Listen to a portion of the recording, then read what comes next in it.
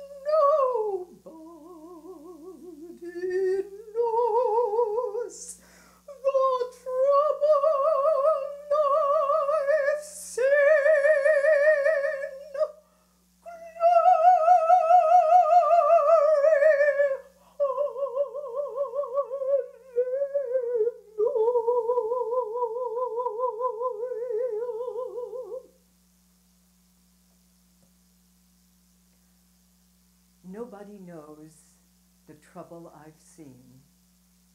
One of the great sorrow songs, and one of the songs I often heard my grandmother sing. But before I go any further, I want to let you know I'm dedicating this brief personal journey through African American spirituals to my grandmother. And I also want to thank you for taking the time to join me in this venture. Now, getting back to sorrow songs.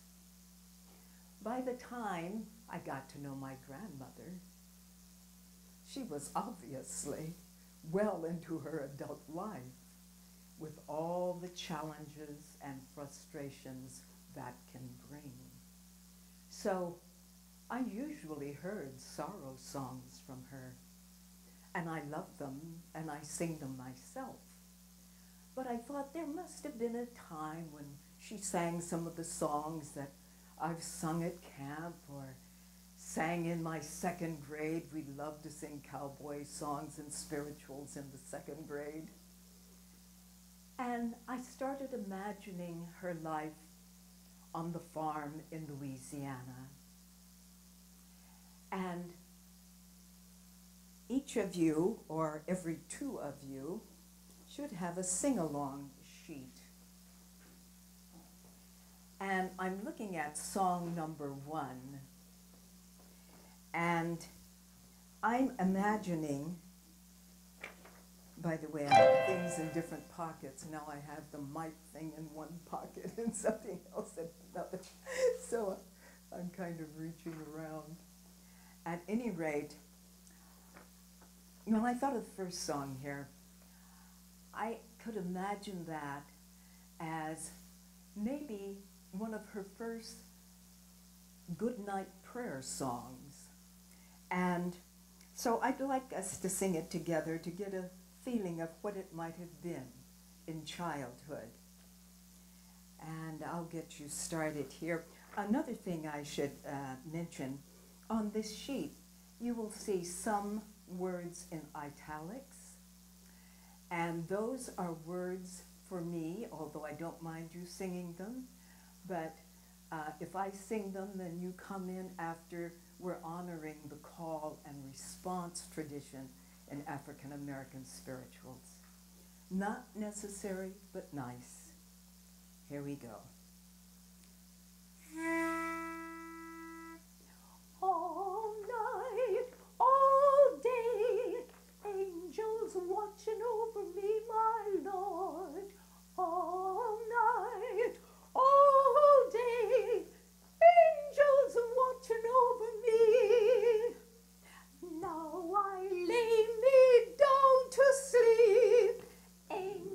watching over me, my Lord. Pray the Lord my soul to keep. Angels watching over me.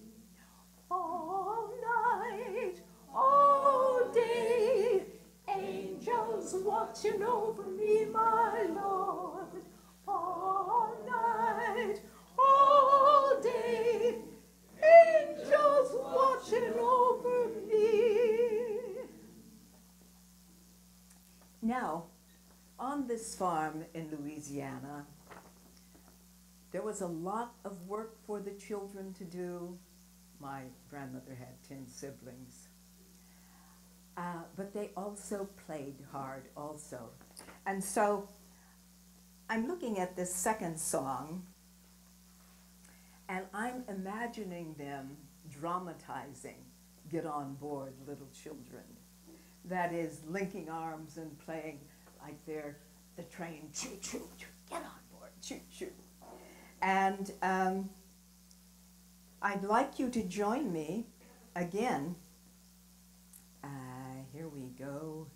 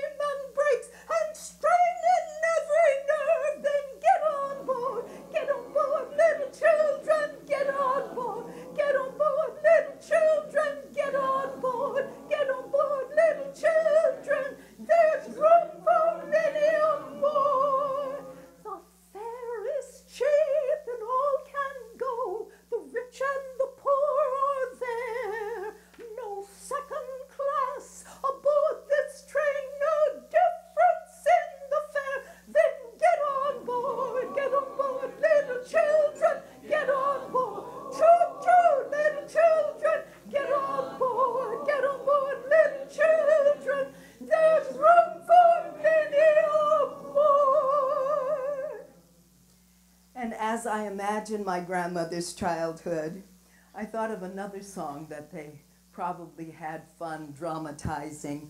Um, that is number four. And um, I'll get you started on that.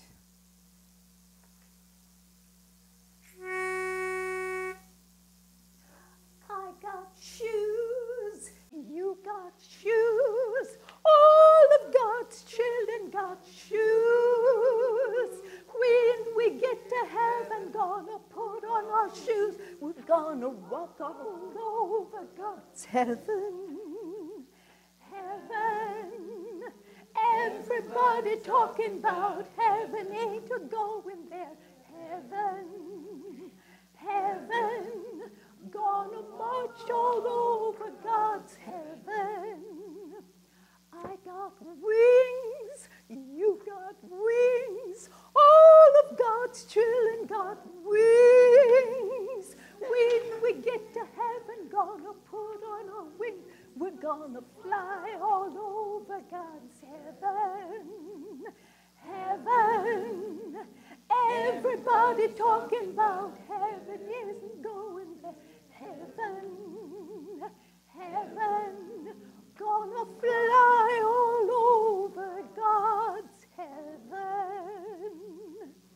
I want to apologize because uh, here we have in this song heaven and chillin', and I've sung so many different people's arrangements.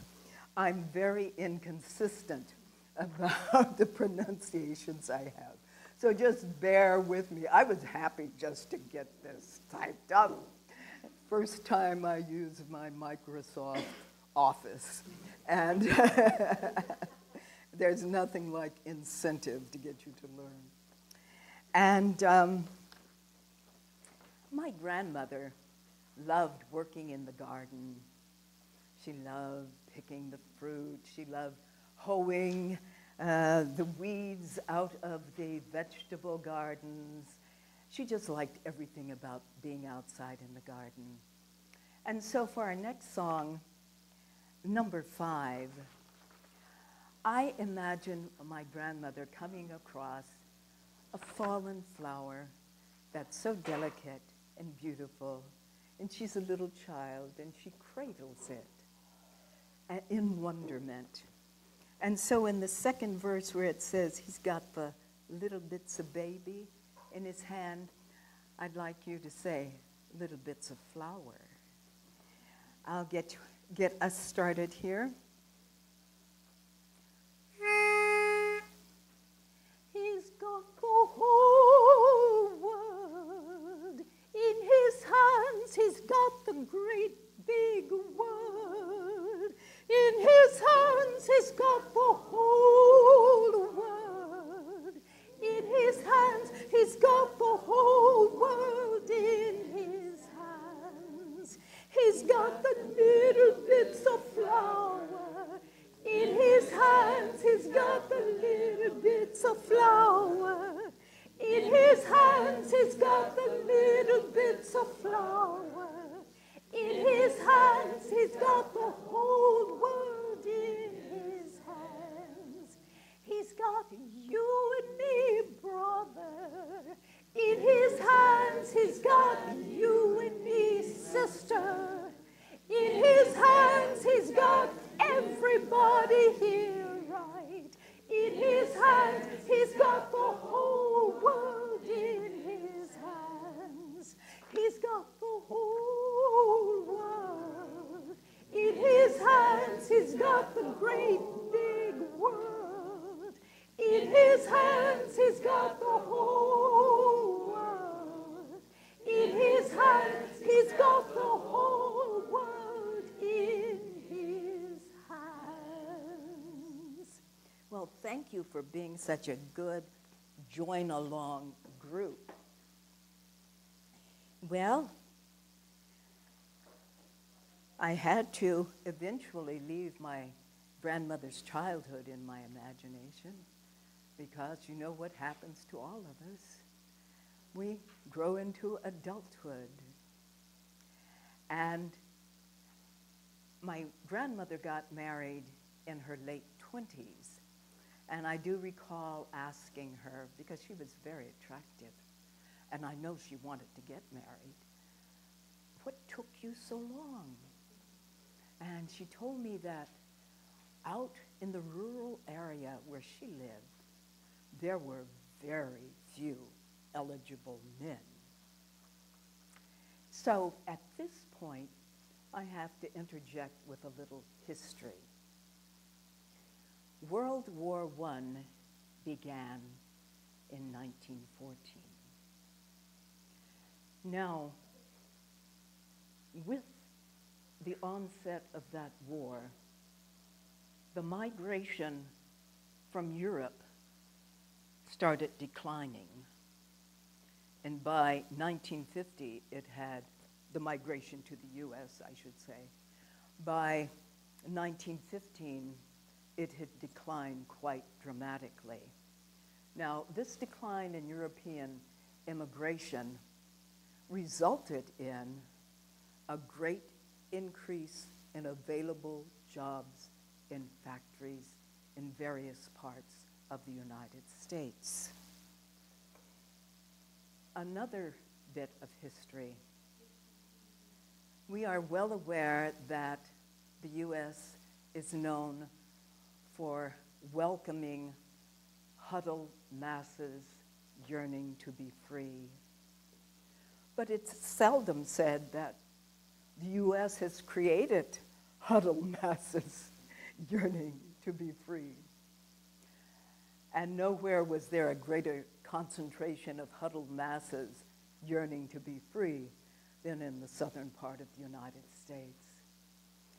And when yearning saw opportunity, that began not the slow trickle that had always been there, but a steady stream to the west, to the north, to the east.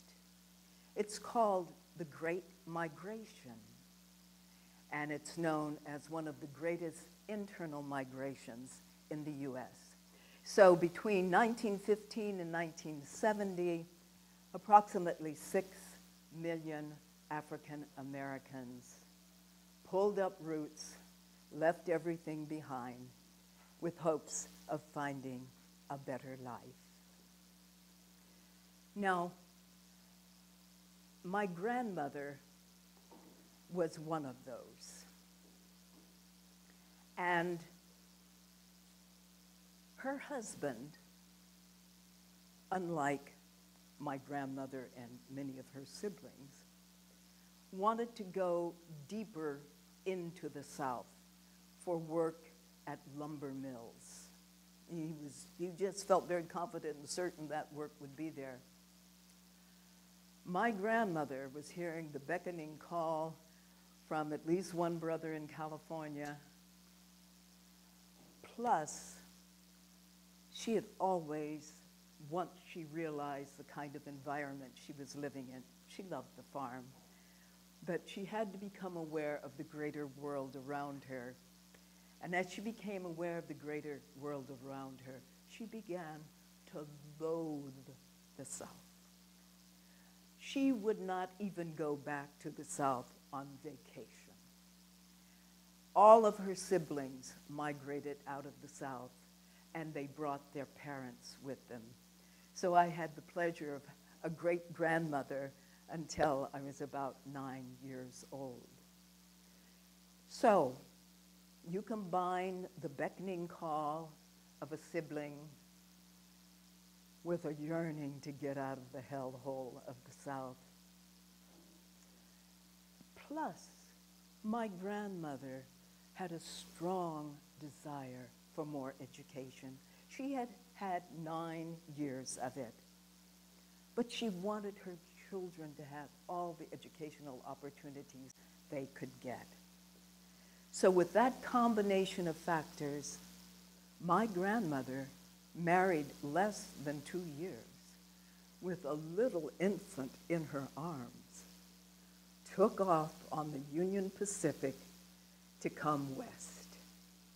By the way, there were three major geographical routes out. There was the eastern route, and I can't tell you that train train's name, but it was headed to places like New York. And then there was a central route going into the Midwest to places like Chicago. People in Louisiana and Texas, for the most part, headed toward California. And the Union Pacific would stop at LA and Oakland and various places along the West Coast. Well, after making this very heroic move, many of the migrants had to face a certain kind of reality. They had fled racial terrorism and racial apartheid in the South, but they found that the North was only slightly better. And that brings me back to spirituals, believe it or not. I'm looking at some faces. Sing a song. um, by that time, by the way, my, my grandmother migrated in 1920. And by that time, the spirituals were undergoing musical changes of all types. But they became good old standbys for people who had to adjust to a reality that wasn't as glittering as they had hoped. So, some of these old sorrow songs, and some of them I call wailing wall songs, held people in good stead. They were like a pillar to lean on as they dealt with realities.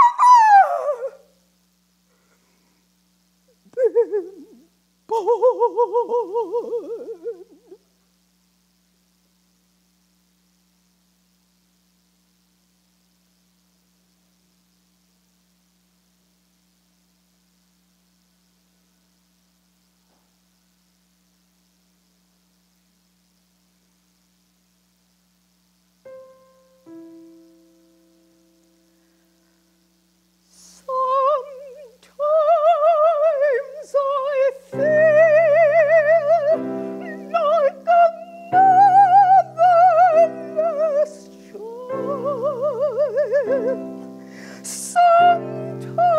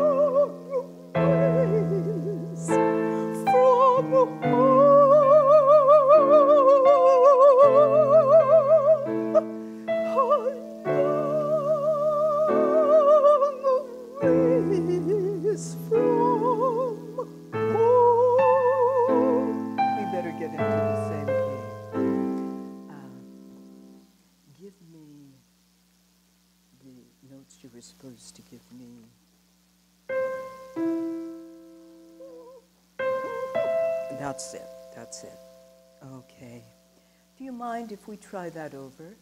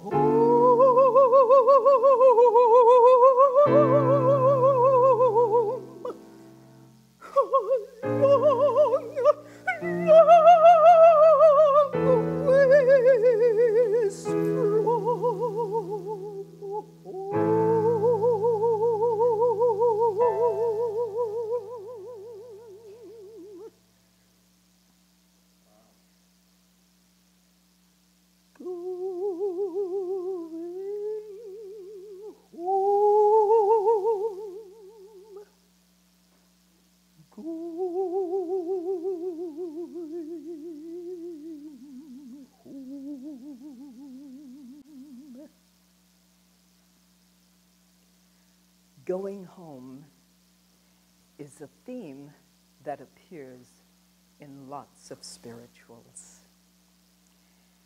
And home can refer to a variety of things. It just depends on the singer and the situation. You can assume in some songs it's simply referring to heaven. You can assume in other songs it's referring to Africa. Other songs refer to where they grew up. And sometimes it's a reference to the Underground Railroad. You just can't be sure.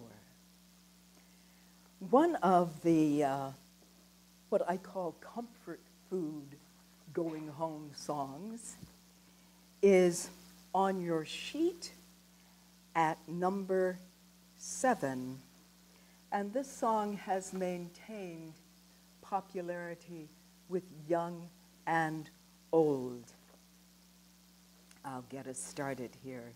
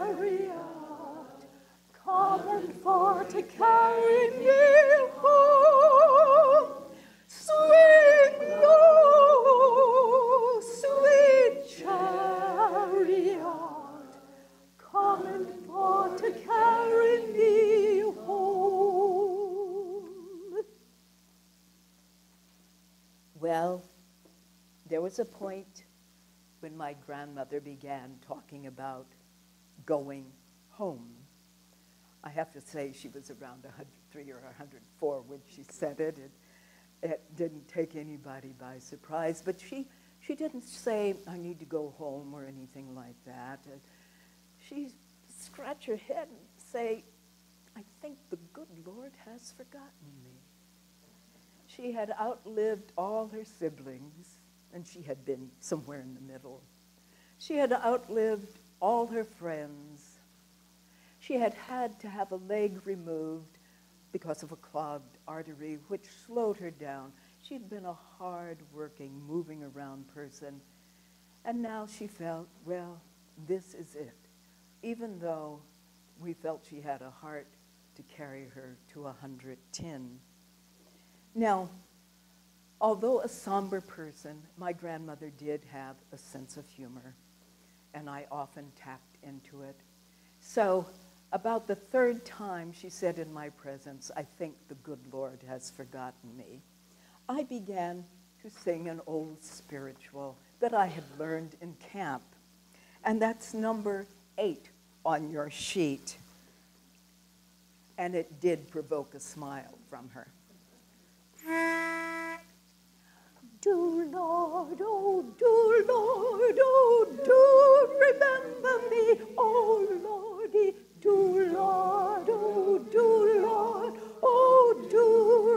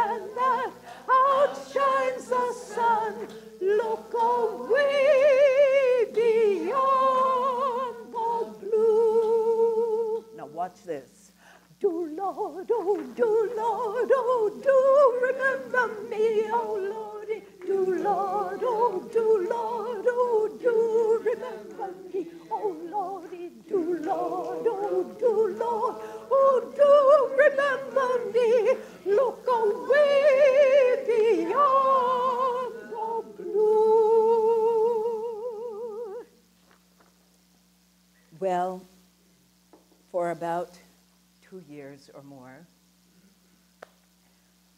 my grandmother started preparing us for her departure. She said, You know, I can't stay here forever. Said, oh, yes, you can, I said.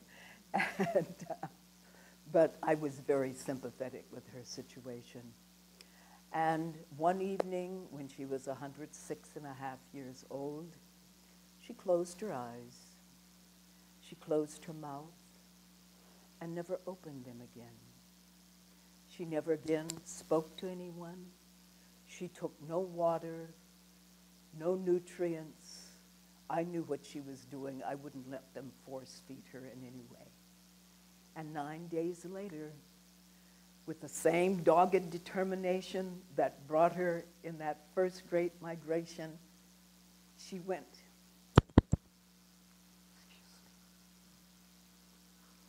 Into her second great migration. It took a lot of will to do what she did. But she bypassed all the doctors, all the laws. I'm going. now, her story isn't quite over. One thing I didn't mention was when she journeyed to the West in search of a better uh, uh, educational opportunities for her children she had something specific in mind. She had heard of a city called heaven, but in this case, it was called the University of California, Berkeley. She wanted to make Berkeley her home. And believe it or not, here's this single mom working her whatever's off as a domestic help, saving money and she did buy a home in Berkeley. And Berkeley was my first home.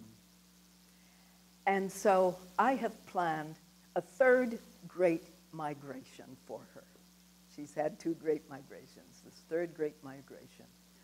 I want her not to only to have resided in Berkeley, but I want her to be at UCB.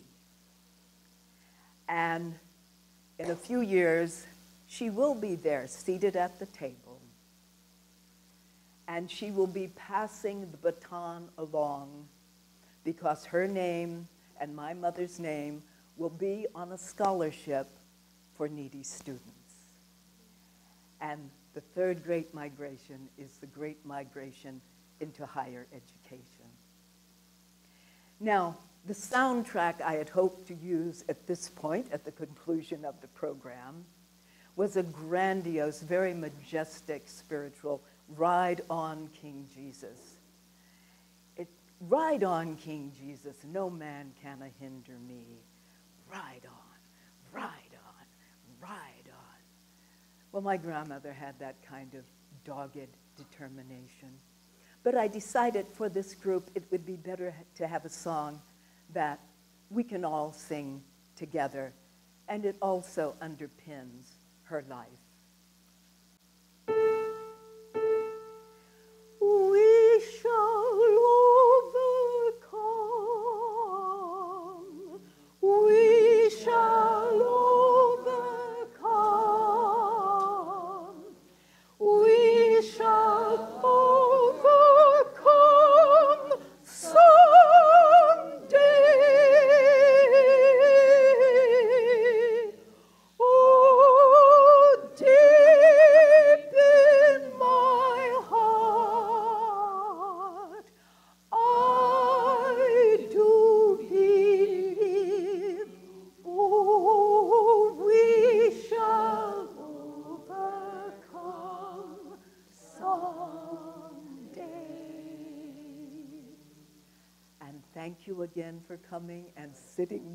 To 10 minutes after 9. Um, Really appreciated your being here and enjoyed your harmonizing. Thank you. And now, this young man is going to beat rhythm the way he did before because that's what I wanted to perform to. Do a little harmonica with that? Well, th- this is a little passage music. Oh, that sounds good.